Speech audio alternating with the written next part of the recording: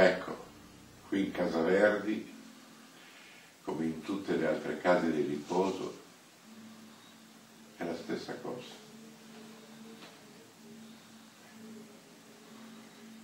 Ognuno di noi detesta l'altro, ma lo compatisce, disprezza la sua debolezza, rispetta il suo dolore.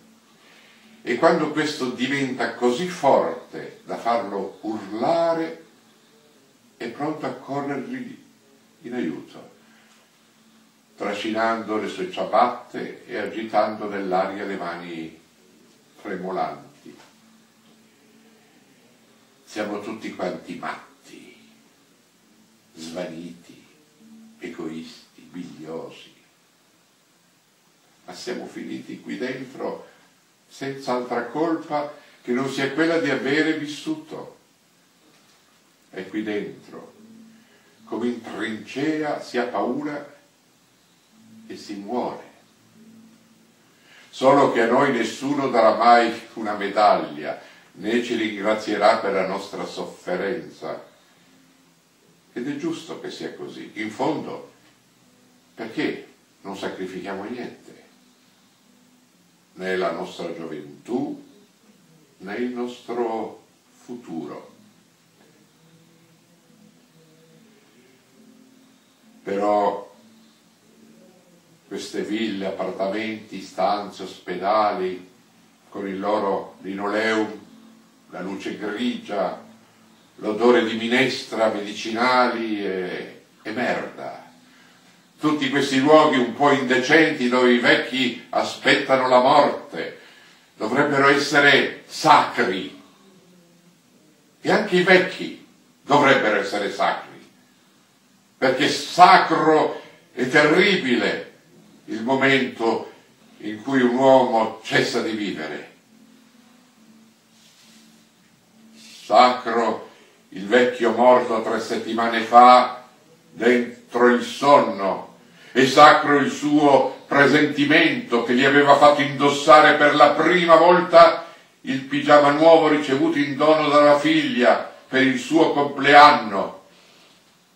E sacro il vecchio morto domenica scorsa dentro il cesso, seduto sul cesso. Dicono che si è trattato di un infarto che gli è stato fatale la sua stitichezza, lo sforzo eccessivo per riuscire a espellere quel maledetto pezzo di pietra che lo faceva soffrire ogni giorno. E se così fosse, sacro anche quello. Ma io penso che forse è morto di crepacuore, perché nel piccolo cesso i fantasmi si affollano, ti stanno troppo vicini, troppo addosso, e insieme a loro si affollano i pensieri, i ricordi, tutti pigiati con te nel cesso, tutti a tormentarti mentre tu aspetti che quella pietra ti abbandoni.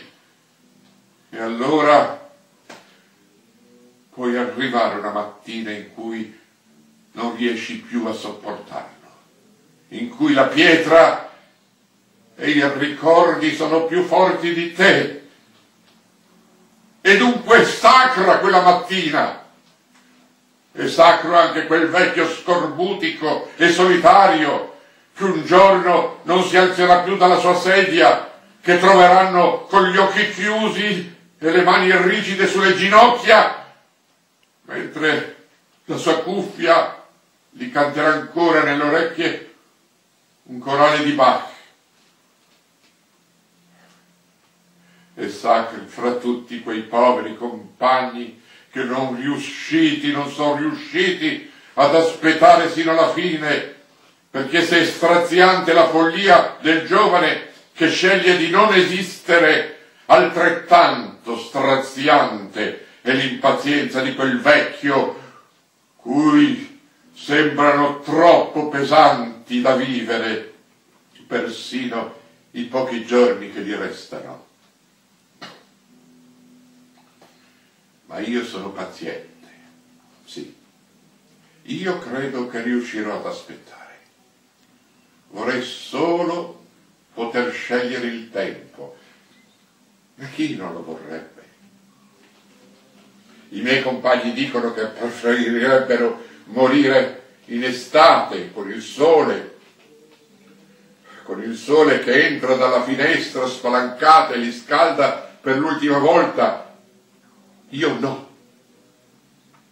Io vorrei morire a Natale, con il grande albero illuminato, in mezzo alla piazza, mentre la neve cade lenta e io la guardo volteggiare nell'aria in compagnia,